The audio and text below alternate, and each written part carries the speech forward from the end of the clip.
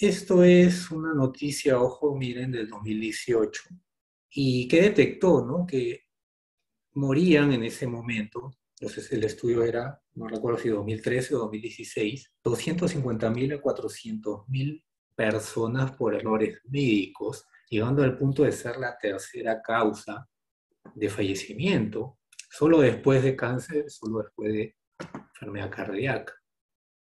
Estos son estadísticas del MISA del año 2017. En orden de frecuencia, ¿no? Si ven, miren la cantidad de muertos en 2017, este es todo el Perú, poco más de 120 mil personas. Y esto es en porcentajes, sumando cáncer y tumores, casi 20%, influenza y neumonía, un 12%, juntando enfermedades cardíacas e infarto, 9%, accidentes, 6%, infecciones bacterianas en general, 5%, ACV 5%. Acá se pueden ver números bajos, ¿no? Obviamente porque hay múltiples causas de fallecimiento. Acá lo vemos en números.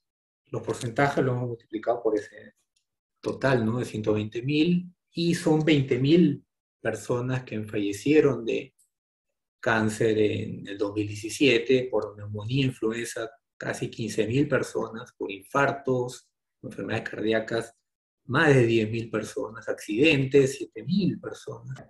Son muchas vidas. Obviamente si lo vemos como porcentaje, quizás sea visto como poco. Obviamente si lo comparamos con Estados Unidos, que tiene más cantidad de personas, quizás sea poco, ¿no? Pero aún así. Ahora, lo que yo estoy poniendo acá es el número, si me acuerdan la noticia anterior, de muertes por error médico. Eran entre 250.000 y 400.000, porque ellos tienen sus propias estadísticas. Cada hospital, todos los datos están digitalizados, computarizados, pueden sacar eso.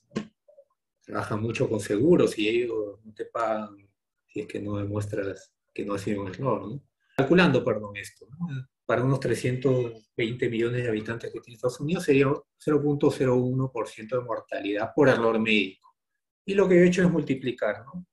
3 millones de habitantes, obviamente para esta época, de este año 2021, habrían 33 mil muertes perdón, por error médico.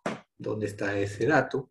Obviamente ese dato no va a estar, porque sería muy raro que alguien ponga ¿no? como causa de fallecimiento el diagnóstico ¿no? de, o la causa de fallecimiento se ponga como error médico, ¿no? sino es que hay un estudio de cada caso y una auditoría y en la cual después ¿no? se concluyó que la causa del fallecimiento tuvo que ver un error médico. eso es chamba, ¿no? Es trabajo que obviamente no, no se hace acá aún, creo yo.